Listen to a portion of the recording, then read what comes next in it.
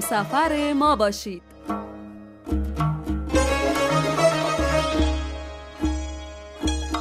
ایستگاه توقف این بار برنامه همسفر یکی از شهرهای تاریخی ایرانه.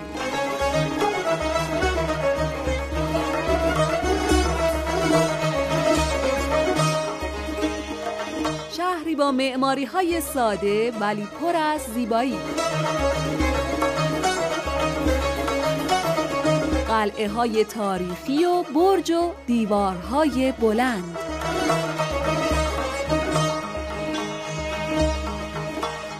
مسجد جامع و مناره بلندی که داره و البته شبستان زیبایی که در دل زمین کنده شده.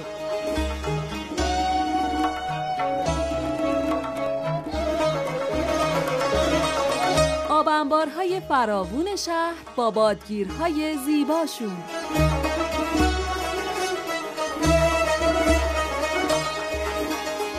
با موزه مردم شناسی و خانه تاریخی پیرنیا آشنا میشیم.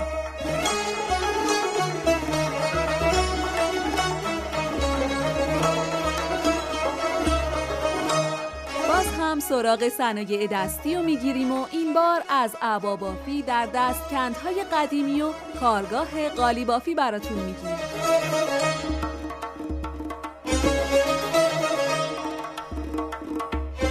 آسیاب ریگاره و راه زیرزمینیش دیدن می‌کنیم که در مسیر قنات کیخسروه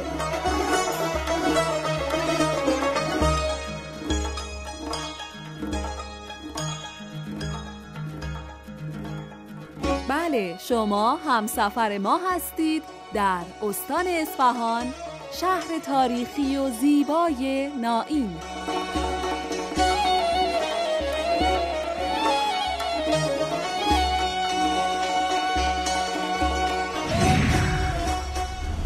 با نام و یاد خدای بزرگ و مهربان. عرض سلام و ادب و احترام. خدمت شما بینندگان عرض برنامه همسفر همراه ما هستیم در ایران گردی داریم با جاذبه دن کشورمون آشنا میشیم. ما در استان اصفهان شهر زیبای نائین هستیم. موضوع برنامه امروز ما در رابطه با یکی از محلات قدیمی شهر نائین هست به نام محمدیه که قرار بهتون معرفی کنیم و چند تا از آثار تاریخی اون رو با هم دیگه مرور کنیم.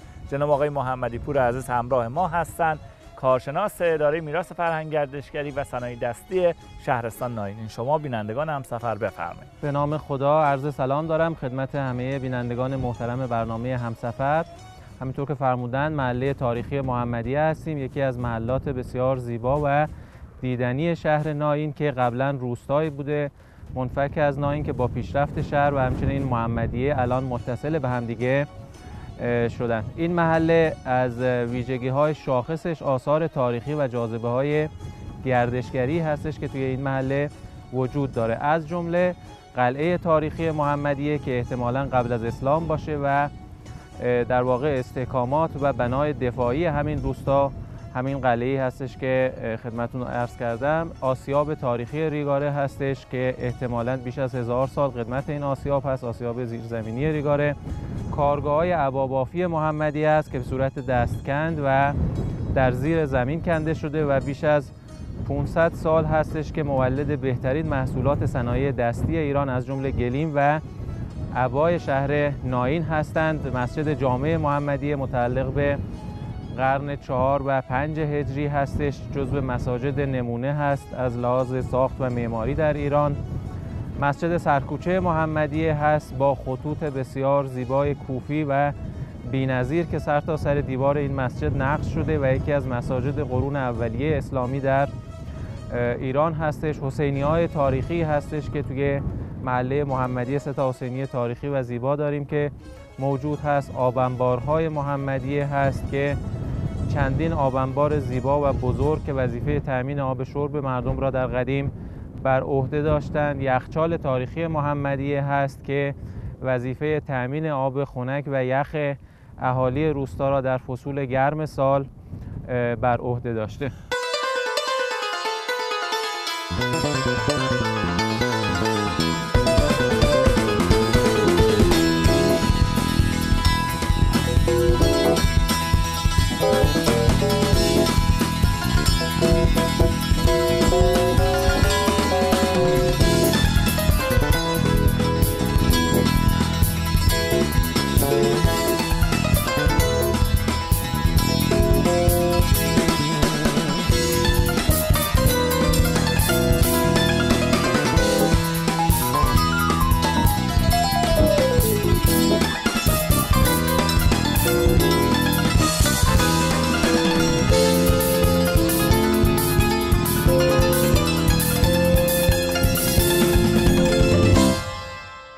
یزد رو استان بادگیرها می‌دونیم. در صورتی که من ناین اومدم بادگیرهای بیشماری رو دیدم بر سر هر آبنبار. حداقل یک یا دو بادگیر رو داریم. می‌بینیم که خود اون بادگیرها باعث می‌شدن که آبی که داخل مخزن آب انبارا هستن به هر حال جریان پیدا بکنن و حرکت کنن و هم خنک بشن و هم راکت بودن خودشون رو یه جورایی از دست بدن. درسته؟ بله بله. و این محلات محمدیه معمولا تاریخچش مشخصه. در یک تاریخ خاصی پدید اومدن یا اینکه در طول زمان رشد کردن. ببینید اگر هسته اولیه هر شهری را در کنار آب و قنات اون محل بخوایم محسوب کنیم قنات محمدیه که الان تقریبا از وسط این روستا داره عبور می‌کنه هسته اولیه محمدیه بوده که در کنارش میدان تاریخی محمدیه هستش مسجد جامع محمدیه هست آبنبار میدان بالای محمدیه هست. اینها میشه به عنوان هسته های اولیه روستای محمدیه محسوب کرد. مسجد سرکوچه محمدیه هستش و باز در کنارش محلات مسکونی که به تدریج شکل گرفته و گسترش پیدا کرده. بسیار عالی. یکی از جاذبه های دیدنی محله محمدیه در اصل کارگاه های عبابافی هستند که در دل زمین حفر شدن و جایگاه بسیار مهمی به خصوص در نساجی دارن عبابافی در نائین معروف و مشهور هست. هرچند الان دیگه بیشتر تو این کارگاه ها کار گیلیم بافی رو دارن انجام میدن. ولی ساختار قدیمی خودشون رو حفظ کردن و ما می‌تونیم اونها رو به سازه بسیار خوب و زیبا تماشا بکنیم.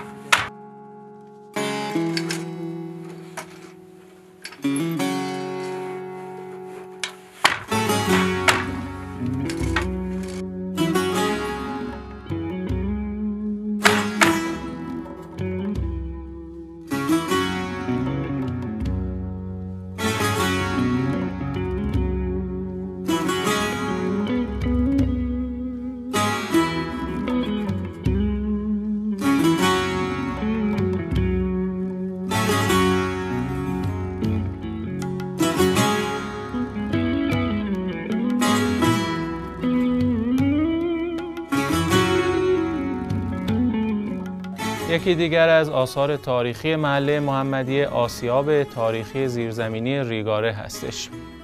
یکی از آثار تاریخی با معماری منحصر به فرد دستکند کاملا در زیر زمین کنده شده و حفر شده بدون هیچ مساله ساختمانی.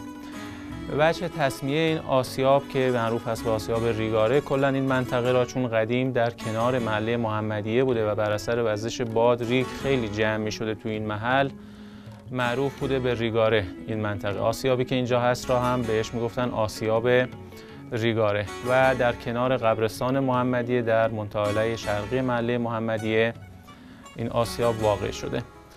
آسیاب تا سال 1385 در زیر خاک مدفون بود و دیگه اثری ازش پیدا نبود تا در سال 1185 که اداره میراث ناین اقدام به بازگشایی سردر آسیاب و مرمت این آسیاب کرد که حدود دو سال طول کشید تا این آسیاب بتونه جهت بازدید گردشگران آماده بشه. آسیاب را در مسیر یک قنات باستانی که معروف هست به کیخسرو احداث کردن که استفاده بهینه ای از این قنات بشه. سر راه این قنات آسیاب ایجاد شده و با استفاده از آب اون سنگ های آسیاب را به گردش در می آوردن و استفاده می‌کردن. طول این آسیاب از جایی که وارد می‌شدن و در واقع دالان ورودی آسیاب شروع میشه 110 متر هستش به صورت دستکن کنده شده تا رسیده به محل اصلی که اتاقک آسیاب هستش. تقریبا اگر که عمق آسیاب را در نظر بگیریم که در عمیقترین نقطه 30 متر از سطح زمین عمق داره با شیبی در حدود 45 درجه از جایی که ما وارد میشیم تا پایین این شیب ادامه داره و عرض دالان هم تقریبا یک متر هستش که در نظر گرفته شد با ارتفاع حدود چهار متر. در طول این دالان هم حدود 9 تا از میل چاه یا کانال های هواکش هستش که قدیم وقتی که خواستن که آسیاب را احداث کنند خاکی که از کندن اینجا به وجود می اومده را از این میل های چاه بالا کشیدن ولی وظیفه اصلیش در زمانی که آسیاب کار می‌کرده و همچنین الان که مورد بازدید هست تهویه هوای آسیاب هستش. در اصلی آسیاب یک در چوبی بسیار قدیمی هستش که این در را شب آسیابان میبسته تا از ورود افراد جلوگیری کنه. قدیم شهر ناین آسیاب های آبی فراوانی داشته که همشون هم با آب غنات کار می‌کردن. تا آسیاب آبی ریگاره بزرگترین آسیاب منطقه بوده در قدیم که حتی از شهرهای اطراف و روستاهای اطراف هم گندمهاشون را برای آرد کردن به این آسیاب می آوردن و آسیاب بسیار معروفی بوده.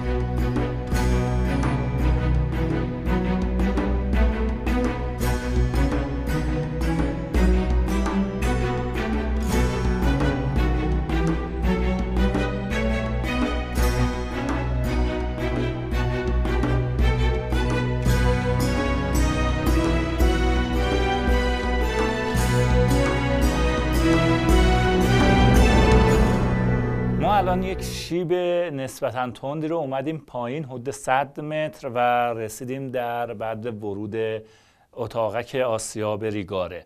خیلی برام جالبه که به هر حال می‌بینم یک فضای فوقالعاده زیبایی رو با معماری ساده که واقعا برای حفر چنین در واقع تونلی زحمات زیادی کشیده شده. هنوز آثار کلنگ ها و تیشه هایی که روی بدنه این دیواره های تونل زده شده رو شما می‌تونید ببینید. سنگ آسیاب رو می‌تونیم ببینیم که این سنگ آسیاب حداقل الان عمرش بین 400 تا 500 سال قبله. جالب اینه که سنگ آسیاب خیلی قطور بوده و بسیار هم به قول من برای اینکه چرخش داشته باشه سنگین بوده ولی از چرخش بسیار ما با قطر کم اون الان مواجه هستیم و مشخص زمانهای دور بسیار چرخیده این چرخ آسیاب و کل گندم رو آرد کرده. ما بین تونل هم ما یه جاهایی رو می‌بینیم که یه کمی پهنتره و قطعا به خاطر این بوده باری که از اینجا خارج می شده بهش می‌گفتن نفسگیر یا جایی که به هر حال استراحت کوتاهی می‌کردن یا اگه یک می‌رفته بالا و دیگر داشته به سمت پایین میومده به خاطر اینکه از کنار هم عبور بکنن این فضاهای باز رو ایجاد می‌کردن تا به هر حال رفته آمده یکم سهولت پیدا بکنه. بالای آسیاب هم ما یک فضایی رو داریم می‌بینیم که راه داره به قناتی که آب از اونجا در واقع وارد تنوره آسیاب می شده و در اصل وارد آسیاب که از پله های بالا میرین و یه تونال در واقع باریک رو طی می‌کنین تا به اون جوی آبی که دقیقا در دل زمین جاری هست می‌رسین که اون هم در دورانهای بسیار دور حفر شده و قنات کلا در کشورمون ایران سابقه طولانی داره. و چقدر جالبه که این قنات ها علاوه بر اینکه به هر حال مزارع رو سیراب می‌کردن و جریان آب رو در دل زمین ایجاد می‌کردن باعث می شدن که قدیمی های ما این فکر رو بکنن که چطوری می‌تونن استفاده بهینه داشته باشن. و این استفاده بهینه به این شکل بوده که در عمق سیمتری زمین در اصل شدت آب بسیار بوده چون یه شیبی هم داشته تصمیم می‌گیرن که اینجا رو دقیقا در سر راه یا آسیابی رو به کار بگذارن و از آب اون در واقع قنات برای چرخش سنگ آسیا استفاده بکنن و چنین بوده که با اون کار و تلاششون چنین یادگاری رو از قدیم برای ما گذشتن. و جالبی دیگه اون اینه که الانی که من اینجا دارم با شما صحبت می‌کنم اصلا منبع نوری به اون شکل نداریم به جز همون در واقع تونل هایی که جناب آقای محمدپور هم اشاره کردن نورگیرهایی که در اصل ما در قنات ها هم می‌بینیم. ساختار اینجا خیلی شبیه به همون قنات هم هست. برحال حساب ریگاره هم یکی از در واقع میشه گفت جاذبه های دیدنی محله محمدیه هست که اگه اومدین به شهر ناین حتما بیاین و تماشاش بکنین و لذتش رو ببرین. البته من این رو بگم که آسیاب یعنی در واقع سنگی که به وسیله آسیایی که با آب کار می‌کنه. ما آسباد هم داریم که در سیستان و بلوچستان. یادمه که بهتون معرفی کردیم آسبادها چرخشش با باد بوده و با باد کار می‌کرده. آسیاب ها با آب و این آسیا یعنی خورد کردن که اون در واقع اهرمی که انجام شده آب یا باد در اصل تغییر می‌کنه. خب این بخش دیگه ای از معرفی جاذبه زیبای تاریخی محل محمدیه. تو بخش بعدی سعی می‌کنیم باز با جاذبه دیگه آشنا بشیم. همراهی ما رو از دست ندین. همسفر ما باشیم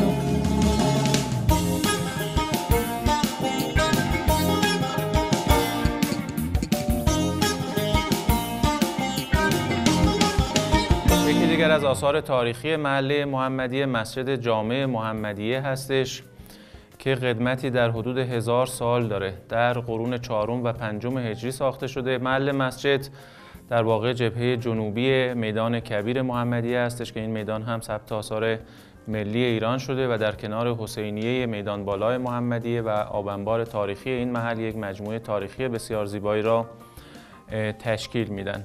مسجد دو ایوانه هستش و در کنارش هم رواقها و در وسط هم حیات یا صحن مسجد هستش. تزیناتی که در داخل مسجد به کار رفته در ایوان قبلی مسجد هست و شامل مقرنسکاری، رسمی بندی و کاربندی هستش. یک منبر چوبی بسیار زیبایی داخل این مسجد هست و از ویژگی های دیگه این مسجد وجود پایاب هستش که قنات تاریخی محمدی از داخل این مسجد عبور می‌کرده که قدیم تبیه کردن برای وضوع گرفتن نمازگزارانی که وارد این مسجد می شدند. از دیگر ویژگی های مسجد زیرزمین مسجد هست که به عنوان شبستان زمستانه ازش استفاده می شده در فصول سرد سال از این شبستان استفاده می شده تزئینات آجوری بسیار زیبا و منحصر به فردی هستش داخل این زیرزمین. مسجد به لحاظ اهمیت و قدمتش در سال 1382 در فهرست آثار ملی ایران به ثبت رسیده و چندین دوره هم مرمت شده و تحت حفاظت و مرمت اداره میراث فرهنگی شهرستان ناین هستش. در قسمت غرب مسجد هم ما یک محتابی یا به اصطلاح شبستان تابستانه داریم که روی یکی از شبستانهای مسجد بنا شده و در تابستانها و فصول گرم سال ازش بهره برداری می شده.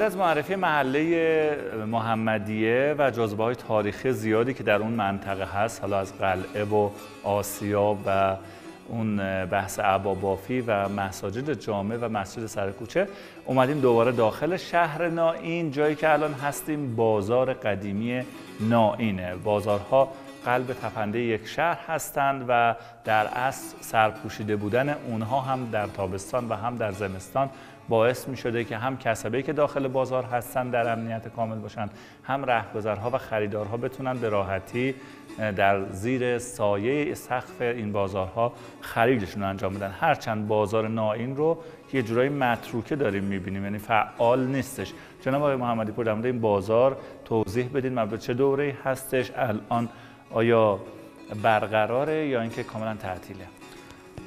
همونطور که فرموندن بازار تاریخی ناین مهمترین معبر تجاری و اجتماعی شهر ناین بوده در قدیم. بازار تاریخچش برمیگرده به ساخت و سازهایی که در دوره ایلخانی در شهر ناین صورت گرفته ولی خب اوج رونق این بازار را در دوره صفویه ذکر کردن بازار تا دهه چهل و پنجاه خورشیدی رونق فراوانی داشته همه مغازه‌هاش باز بوده.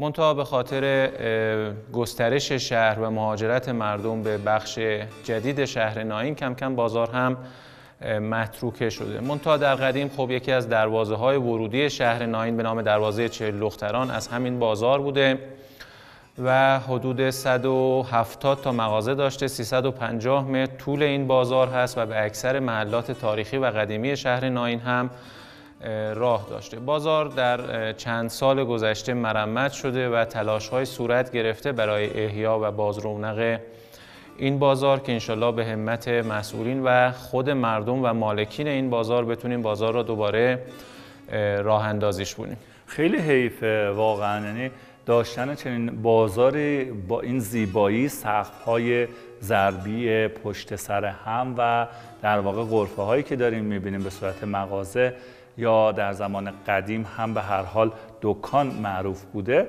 به هر حال الان همه چیز مهیاست بجز اون رفت آمد و کسبه که باید بیان. طول بازار چند متره؟ 350 متر 350 متر مسقف. بله همه بله. مسقف هستش. یکی از گزینه های دیگه گردشگری که من توی شهر فراوان دیدم بادگیرها و آبنبارها هستش. معروف در این آبنباری که تو شهر چه اسم داره و این بادگیرها همه در واقع آبنبارها بارگیر داشتن یا اینکه بعضی از اونها.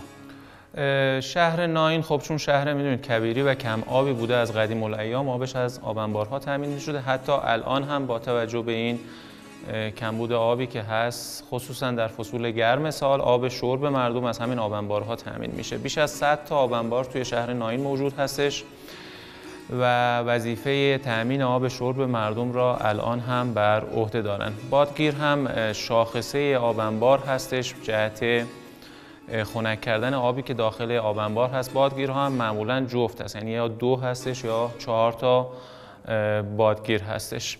معروف ترین آبنباری هم که توی شهر ناین هست و بزرگترین آبنبار آبنبار معصوم خانی هستش که در محله چهل دختران قرار داره و الان هم ازش آب برداشت میشه.